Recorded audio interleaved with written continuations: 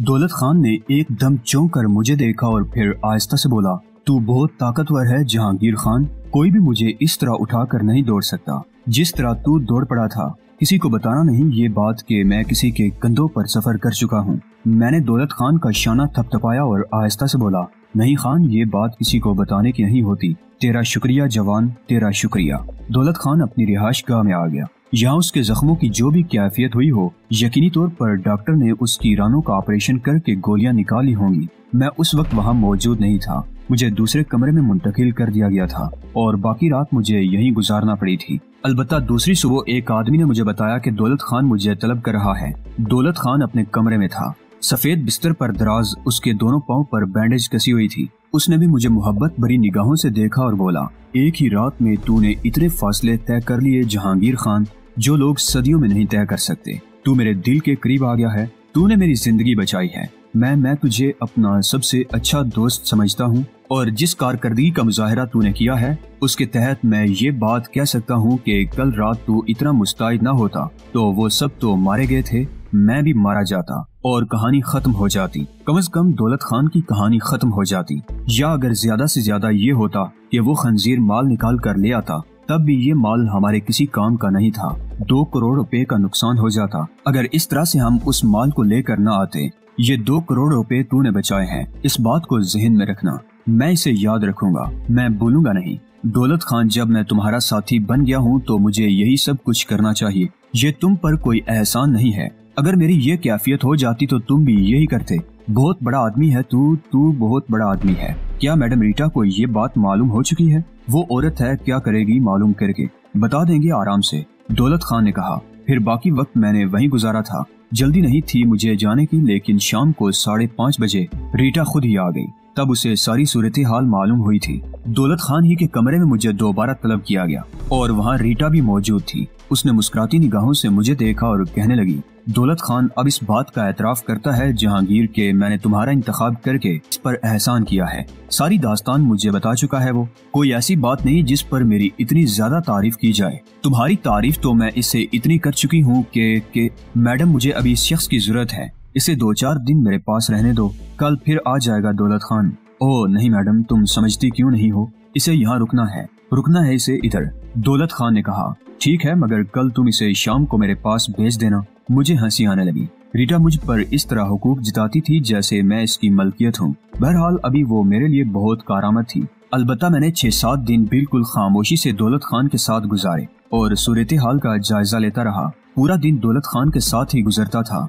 वो जख्मी था, इसलिए सारे हुक्म मुअत्तल कर दिए थे। उस शाम वो बहुत संजीदा था और उसके चेहरे पर गौर फ़िक्र के आसार नज़र आ रहे थे। मैं उसके पास ही बैठा था। वो अजीब सी निगाहों से मेरी सूरत देखने लगा। फिर उसने कहा, जहांगीर जमाल शाह, जी दौलत खान, यार तुझसे कुछ बातें करने को दिल चाहता है। क्या बातें दौलत खान? एक बात का मुझे वादा करना होगा जहांगीर।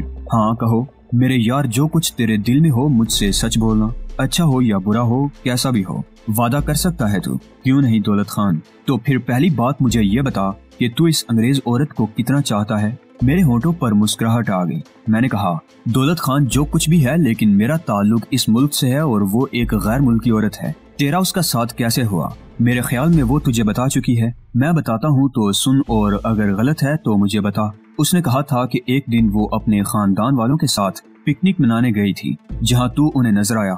और चूँकि तू राजल शाह का हम शक्ल है, इसलिए उन लोगों ने तुझे बहुत मोहब्बत की निगाह से देखा और अपने घर ले आए। उसे तुझ पर शुबा था कि तूने किसी खास वजह से राजल शाह का मेकअप किया हुआ है। मगर उसने जब तेरा चेहरा देखा तो तू उसका हम शक्ल निकला। बस इसके बाद से तेरे और उसके दरमियान दूसरे ताल्लुक कायम हो गए, और अब वो अपने कहने के मुताबिक तुझ तुझसे मोहब्बत करती है। हालाँकि वो मोहब्बत खान की बीवी है। तुम्हारे ही मामला चल रहे हैं, वो चाहती है कि अपना काम मुकम्मल कर ले, और अब राजल शाह की जगह तुझे अपना साथी रखे। क्या ये सच है? आखिरी अल्फाज मेरी समझ में नहीं आ सके दौलत खान। मैंने कहा, वो आ जाएँगे, लेकिन पहले बता कि मेरी इस कहानी में फ़र्क है। बिल्कुल नहीं, और अब अपने दिल की बात मुझे एक बार फिर बता। अगर कोई ऐसी सूरत हाल पेश आ जाए कि तुझे उसे छोड़ना पड़े तो क्या तू इसके लिए तैयार हो सकता है? मैं हंसने लगा। मैंने कहा, दौलत खान, मुझे इसे कोई दिलचस्पी नहीं है। मैं जो कुछ कर रहा हूँ, अपनी पसंद से कर रहा हूँ। वो जब तक मेरे साथ है, और जब भी वो मुझसे हटना चाहेगी, मुझे कोई अफसोस नहीं होगा।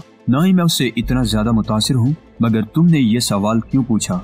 अगर मैं तुझे ये बताऊँ, जहांगीर शाह के अब वो अपने दोस्तों से गद्दारी कर रही है तो क्या तू इस बात पर यकीन करेगा? तुझे कुछ और बताऊँ? उस रात जो कुछ हुआ है और जिसमें तूने मेरी जान बचाई है, इसके बारे में मैं खामोश नहीं बैठ गया। ये मालूम करता रहा हूँ कि इसके पसे पर्दा कौन था।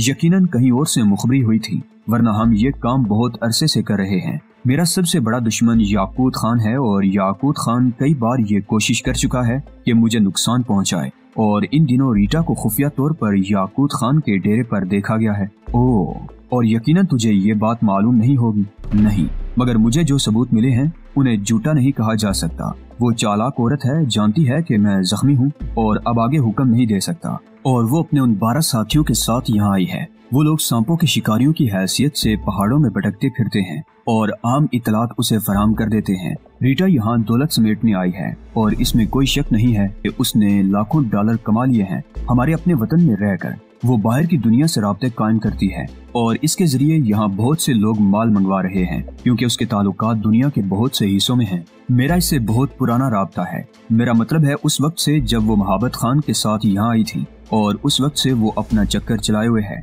मगर उसे थोड़ी बहुत ज़्यादा रकम के लिए मेरी दोस्ती नहीं छोड़नी चाहिए थी। क्या तुम्हें इस बात का यकीन है दौलत खान के वो याकूत खान से मिल चुकी है? और यार यकीन ही नहीं, बल्कि यूँ समझ ले कि इस बात की तरदीद नहीं की जा सकती। अब मेरे पास ऐसे दस्तावेजी सबूत पहुँच चुके हैं, और ये भी हो सकता है कि दूसरी कोशिश में वो हमें कत्ल करा दे, लेकिन तेरे सिलसिले में अब उसका नज़रिया बदल गया है, और अब ये बात वो मुझे बता चुकी है। अगर ये हालात होते तो वो मुझे कभी न बताती। वो बहुत चालाक औरत है, बहुत खतरनाक।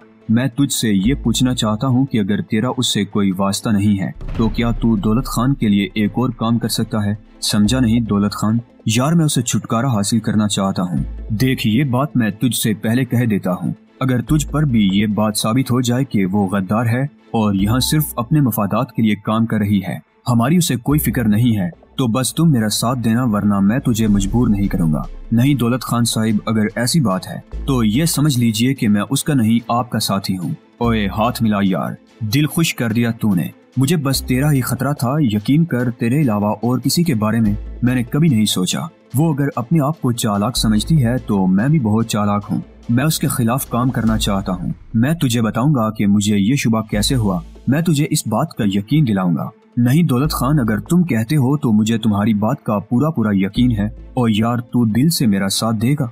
हाँ तो फिर सुन, हम यूँ करते हैं कि पहले आहिस्ता आहिस्ता करके उन बारह आदमियों को अपने कब्जे में कर लेंगे, जो सांपों के शिकारियों की हैसियत से काम कर रहे हैं। और इसके बाद एक दिन उसे यहाँ लाकर उसकी असल शक्ल दिखा देंगे, ताकि उसे पता चल जाए कि वही सबसे ज़्यादा चालाक नहीं है, मगर ये काम बहुत खुफिया तरीके से होगा, बल्कि तू ही इसका ज़रिया बनेगा। मगर मैं अब भी कह रहा हूँ कि ये सारी बात साबित करने के बाद मैं तुझे इस बात के लिए मजबूर करूँगा कि अब वो हमारी साथी नहीं है। मुझे इसकी बिल्कुल परवाह नहीं है दौलत खान साहिब। लेकिन अगर वो चालाक औरत ये सब कुछ कर रही है तो बुरा कर रही है। वो तो बहुत बुरा कर रही है। बहुत लंबी प्लानिंग है उसकी। मैं तुझे बताता हूँ, ये यूरोप जाने वाले इस किस्म की खतरनाक औरतों के जाल में आसानी से पनस जाते हैं। वो लड़का बहुत अच्छा है, बहुत शरीफ लड़का है। वो जिसका नाम राजल खान है। मगर ये उसे ब्लैकमेल कर रही है। मजबूर कर दिया है इसने उसको। क्या? मेरा मुँह हैरत से खुल गया। हाँ तेरे इल्म में अभी तक ये नहीं आया होगा कि राजल खान ज़िंदा है। राजल खान ज़िंदा है? मैं हैरत से उछल पड़ा। न सिर्फ़ ज़िंदा है, बल्कि इस वक्त मेरे पास महफूज है। यहाँ इस इमारत में एक तय खाना है, जिसमें राजल खान को कैद रखा गया है। मगर दौलत खान वो लाश जिसको दफन किया गया। बहुत लंबा खेल है। मोहब्बत खान बहुत दौलतमंद आदमी है। बाप दादा का छोड़ा हुआ बहुत सा तरका उसके पास मौजूद है। दो भाई उसके हिस्सेदार हैं, राजल खान और मोहब्बत खान। मोहब्बत खान ने इस औरत से शादी कर ली और इस तरह इस औरत ने एक मंसूबा बनाया। शादी करने के बाद वो मोहब्बत खान को नशे का आदि बनाने लगी और शेर का बच्चा आहिस्ता आहिस्ता चूहा बन गया। इसने बड़ा सुस्त काम किया और मोहब्बत खान को इस तरह नशावर दवाएँ देती रही कि बिल आखिर वो अंदर से बिल्कुल खोखला हो गया। और अब उसकी कैफियत ये है कि वो अपने आप को सांपों से डसवाता है, तब उसे नशा होता है। हाँ मैंने ये मंजर अपनी आँखों से देखा है। समझ ले, वो मोहब्बत खान को एक वक्त तक ज़िंदा रखे हुए है। राजल खान की मौत का ड्रामा इसलिए खेला गया कि मोहब्बत खान के बाद वही उसकी हकदार है। राजल शाह को यहाँ धोखे से लाया गया और मेरे हवाले कर दिया गया। ताकि वो कोई ऐसा काम न कर सके, जिससे रीटा को अपने कामों में मुश्किल हो। उस वक्त तक जब तक की मोहब्बत खान न मर जाए, राजल शाह की मौत का ड्रामा खेला गया। एक लाश उसके मेकअप में यहाँ मंगवाई गई थी, और किसी ने नहीं सोचा कि वो राजल शाह नहीं है तो उसकी तदफीन कर दी गई। और फिर राजल शाह को मेरी कैद में पहुंचाकर उसने अपने आप को मज़बूत कर लिया। इस ख्याल के तहत कि किसी मुनासिब वक्त पर राजल शाह को मंजरे आम पर लाएगी और अगर कोई कानूनी मुश्किल पोजीशन आई तो फिर राजल शाह इस दौलत के हसूल में उसकी मदद करेगा। राजल शाह को उसने इस अंदाज में अपने जाल में फंसाया कि वो निकल नहीं सका है और आज भी वो उसका दम भरता है। बड़ा अजीब किस्सा है। ये कमबख्त औरत इन सब लोगों को एक एक करके मौत के घाट उतार देगी, लेकिन चालाक है आहिस्ता आहिस्ता काम करना चाहती है। मैं शिद्दत हैरत से उसकी तमाम बातें सुन रहा था। मैंने आहिस्ता से कहा, दौलत खान साहिब, क्या मैं राजल शाह से मिल सकता हूँ? ओए, अब कौन सा काम मुश्किल है, मैं तुझे उससे मिलाऊँगा। जानता है वो अब क्या चाहती है? क्या चाहती है? वो चाहती है कि राजल शाह को मौत के घाट उतार दे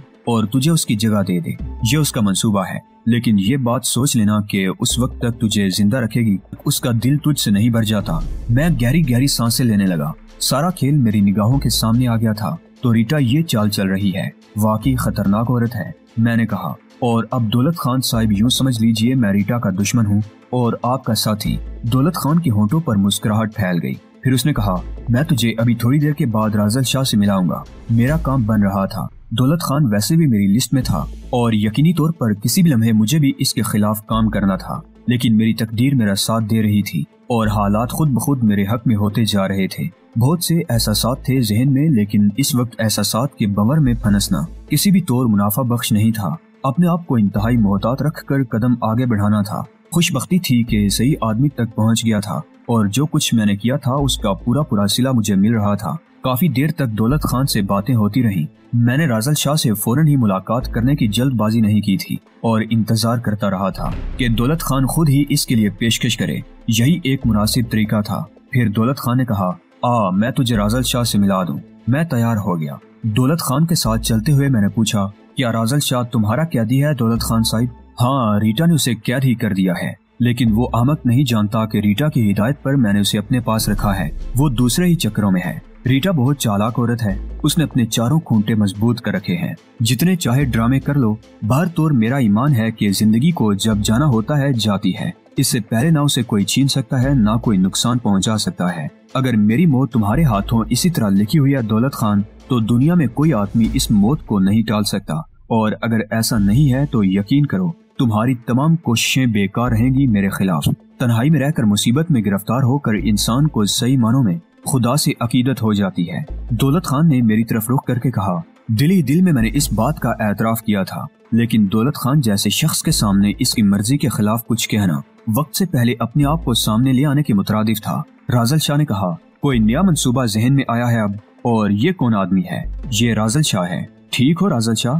दौलत खान ने पूछा, बिल्कुल ठीक हूँ। देख रहे हो ना? तंदुरुस्त हूँ, खुश भी हूँ। अपनी तकदीर से पूरी तरह मुतमिन हूँ। ज़ाहिर है, तकदीरें गलत नहीं होती। आओ चलें। दौलत खान ने मुझसे कहा, मैंने एक निगाह राजल शाह को देखा और आहिस्ता आहिस्ता वापसी के लिए चल पड़ा। बड़ा अजीबो गरीब एहसास मेरे जहन में था। राजल शाह की शख्सियत ने एक लम्हे में ही मुतासर कर लिया था। भर तौर इस सिलसिले में खासा गौर खोज करता रहा था। हम बाहर आ गए। दौलत खान कहने लगा, देख बेटा, मैंने तुझे सारी सूरत हाल से आगाह कर दिया है। तू रीटा ही के ज़रिए मेरे पास पहुँचा है। लेकिन एक बात का मैं तुझे इतमान दिलाना चाहता हूँ। रीटा का दुश्मन मैं बिल्कुल नहीं था, और न ही तुझे उसकी दुश्मनी पर आमादा करना चाहता हूँ, लेकिन एक गैर मुल्की औरत अगर हमारे मुँह पर काला रंग लगा जाए तो क्या तुझे पसंद होगा? बिल्कुल नहीं, दौलत खान साहिब। अगर रीटा के बारे में मेरा ख्याल गलत है तो तू फिर मुझे समझा सकता है। मैं अपना ये तस्वुर तर्क कर दूँगा। जी, मैं समझ रहा हूँ। और अगर मेरा ख्याल दुरुस्त है तो फिर समझ ले कि हम रीटा के फ्रेब में नहीं आएँगे। बिल्कुल नहीं आएँगे। मेरा मतलब है कि अभी तो उससे कतः ताल्लुक ना कर। मिलता रहे उसे और बाद में उसके बारे में तमाम तर तहकीकात मुकम्मल करके फिर हम उसके खिलाफ अमल करेंगे। जी, मैंने कहा, वैसे भी तेरा एकदम उससे अलग हो जाना उसे मशकूक कर सकता है। बहुत चालाक औरत है वो, और कोई भी नया मंसूबा बना सकती है। कम अज कम हम उसके करीब रहकर उसके मंसूबों से तो आगाह हो सकते हैं। तू ये अंदाज़ा लगाने की कोशिश कर कि इस सूरत हाल के बारे में उसकी क्या राय है। ठीक है, दौलत खान साहिब, जब मैंने आपसे ये वादा कर लिया है कि मैं आपका साथी हूँ तो फिर समझ लीजिए कि जो कुछ मैंने कहा है, वो भी सच है। ऐसे ऐसे हैरतनाक इंकशाफात हुए थे कि अकल चकरा कर रह गई थी। भर तौर ये एक अलग सिलसिला था, लेकिन ऐसा कि मैं इसकी दिलचस्पी से इनकार नहीं कर सकता था। ज़ाहिर है, इसके बाद खानम गोहर चरा के घर ही पहुँचना था। ये घर तो मुझे अब ऐसा लगने लगा था जैसे मेरा अपना ही हो। वहाँ कदम रखता तो मोहब्बतों के दरवाजे खुल जाते। बहुत प्यार किया जाता था मुझे और ज़ाहिर है, इंसान ज़िंदगी के हर मोड़ पर मोहब्बत का मौका होता है। लेकिन बोकी निगाहें मुझे देख रही थी। रीटा के अलावा और कौन हो सकता था? मामूलात से फरागत हुई। रीटा ने अपना हिसाब किताब मुकम्मल किया और मुझ पर नाजिल हो गई। हालाँकि अब जरा मुझे थोड़ा सा खौफ महसूस होने लगा था। नौशाद को रीटा के और मेरे ताल्लुकात का इल्म हो गया था। बड़ी ही खौफनाक बात होती। अगर ये ताल्लुकात मोहब्बत खान, खानम गोहर चिराग वगैरह पर मुनकशिफ हो जाते, मेरे लिए डूब मरने का मकाम होता। अब ये तो कोई भी नहीं जानता कि रीटा ने मुझ पर किस तरह अपना जाल डाला है। भर तौर मैंने रीटा को खुश आमदीद कहा। वो अजीब सी निगाहों से मुझे देखती हुई मेरे करीब आ गई। बाहर की क्या कैफियत है? मैं हर पहलू मुकम्मल करने के बाद ही अपना कदम आगे बढ़ाती हूँ। कैसी हो? अच्छी नहीं हूँ। रीटा ने जवाब दिया, क्यों? खैरियत? मेरे सवाल के जवाब में उसने कुछ न कहा। बस अजीब सी निगाहों से मुझे देखती रही। फिर आहिस्ता से बोली, इंसान को समझदार होना चाहिए, जहांगीर जमाल शाह। हाँ होना तो चाहिए। तुमने ना समझी का सबूत नहीं दिया। कैसे? किस बात पर? मैंने हैरानी से पूछा। और रीटा कुछ देर सोचती रही। उसने आहिस्ता से कहा, दो करोड़ का मामला था, पूरे दो करोड़ का। कोई छोटी मोटी रकम नहीं थी। तो फिर मेरा मतलब है कि अगर वक्त ने, हालात ने तुम्हें उन दो करोड़ का मालिक बना दिया था तो उस वक्त से फ़ायदा क्यों नहीं उठाया? एक बार फिर वही सवाल करूँगा, क्या मतलब? ओ डार्लिंग, खैर छोड़ो, जो कुछ हुआ सो हुआ, लेकिन लेकिन मुझे हैरत भी हुई।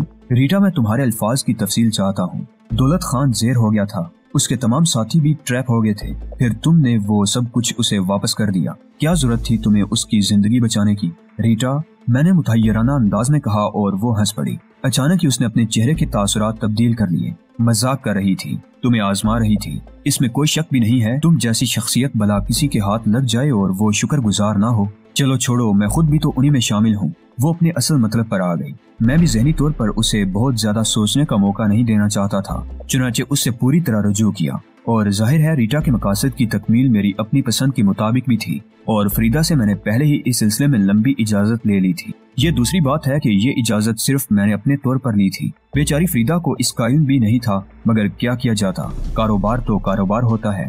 बाज किसी अच्छे दुकानदार को अच्छे गाहक से सौदा तय करने के बाद न जाने क्या क्या कुर्बानियाँ देना पड़ती हैं। चुनाचे मैं कुर्बान होता रहा और जब मेरी कुर्बानी मुकम्मल हो गई तो एहतियात के पेश नज़र रीटा अपने कमरे में वापस चली गई और मेरे लिए सोचों के न जाने कितने जाविये छोड़ गई सोचों के इन जावियों में उस वक्त सर फहरिस्त राजल शाह था। राजल शाह ज़िंदा है, सबसे ज़्यादा हैरत नौशाद पर हुई थी। मोहब्बत के बहुत से रूप सामने आते हैं। किस्से कहानियों में लैला मजनू, शीरी फरहाद और दूसरे ऐसे किरदार कभी इल्म में आते हैं तो ये एहसास होता है कि ये सिर्फ़ कहानियाँ हैं। लेकिन जब ये कहानियाँ कभी ऐसी शक्ल में ज़िंदा हो जाती हैं तो इन सारी कहानियों पर यकीन आ जाता है।